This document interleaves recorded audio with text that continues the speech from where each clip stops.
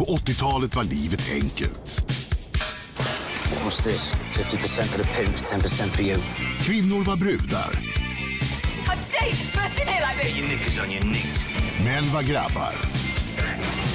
Och snutarna satte dit kriminella istället för att vända papper. CID, Mr. Rivens.